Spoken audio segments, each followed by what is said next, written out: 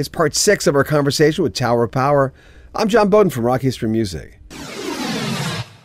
In this series, we talk to three of the main guys in this band. Leader, tenor sax player, and lead vocalist, Emilio Castillo. And on baritone sax, Stephen Doc Kupka. And legendary drummer, David Garibaldi. Speaking of you, I, I, you know I've been following you so many years, and it's so nice to be finally able to talk to you. But I always looked at you, I'm going, the guy just either through nurture and nature, you always had a vision. You knew what this was supposed to sound like, correct? Well, yeah, I patterned myself after this band called the Spiders. It was a local band, spelled with a Y, Spiders, S P Y D E R S. And they were a soul band, and they had uh, three horns. Uh, the lead singer was this white kid named Dennis Delacqua. So soulful. Black people used to come from all around the Bay Area to watch them and just shake their heads. They couldn't believe how soulful the band was, but in particular, this guy, Dennis Delacqua. And he played alto and organ and sang. And I patterned myself after him. And I wanted my band to be tight like them, have great horn section and great background vocals. That's what they had. And then uh, I, I, was also watching Sly and the Family Stone at the time. They had just started playing at a local club near me. Well, you and Rocco used to used to uh, sneak in there, right? Yeah, we used to go around the back of the club. The club was called Frenchie's. It was in Hayward. And, and in the back, there was a swimming pool.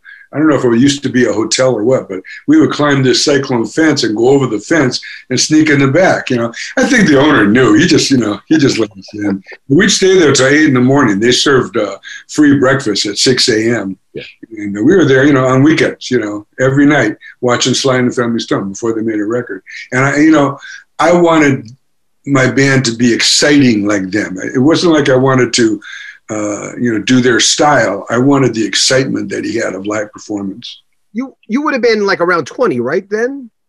I was 23 when I joined the band. I had just gotten out of the military. Yeah. And um, I was playing in a club in Oakland with subbing for their drummer, the drummer who got injured somehow. And the subs were me and Mike Clark, who played with Herbie Hancock and the Headhunters. Oh, wait a minute! This is the band with the, the with the funky name. What was the name? Reality, the, the re- Reality Sandwich. They were a bunch of drug dealers and weirdos, and so you know, it was perfect for the times. And so you know, that's how I met. You know, Skip Mesquite and Mick Gillette. God bless those guys. They're gone, but they were they come to to play. They come to sit in. One night they come in. They said, you know, we're thinking about making a change in drummer. You want to come and check us out?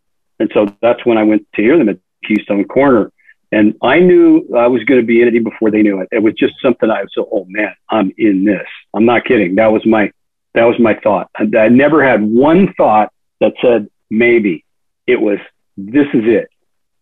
I'm not kidding. Uh, when you met Emilio, what was your, what was your impression?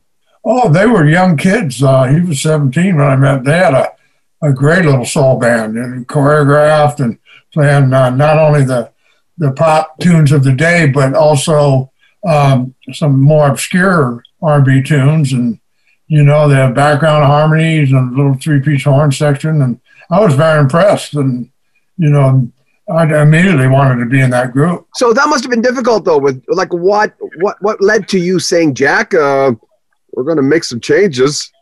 Oh no, it wasn't my decision. It was the producer of the record, David Rubinson.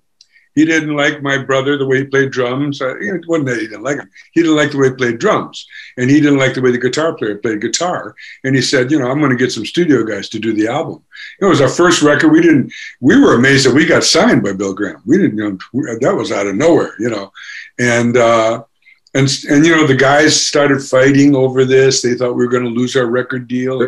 My brother and Jody are, you know, practicing more and more and more. And seemed like the more they practiced, the worse they got because they were just so intimidated about, you know, the whole situation.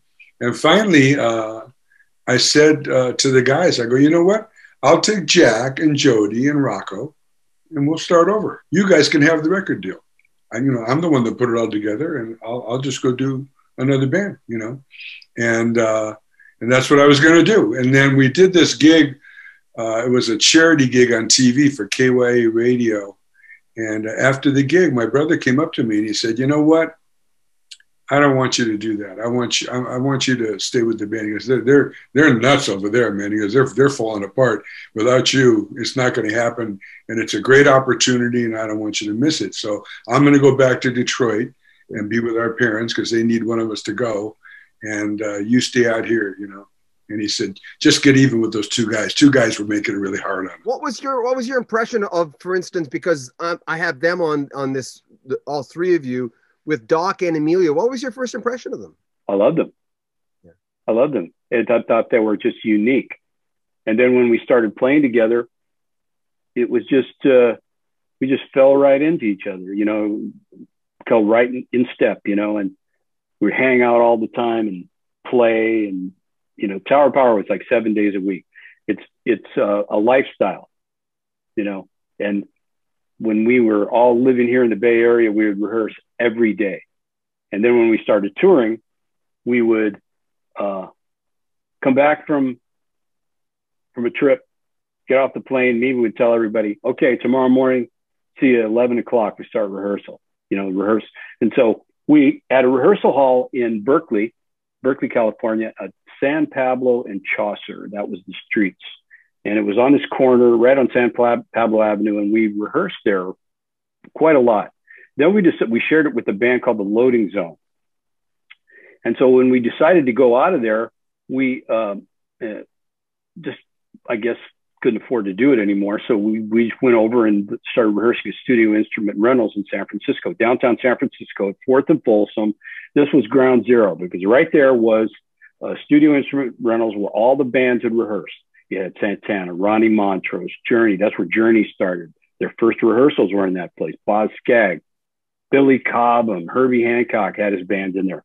And so right across the street was CBS Records, which became the Automat.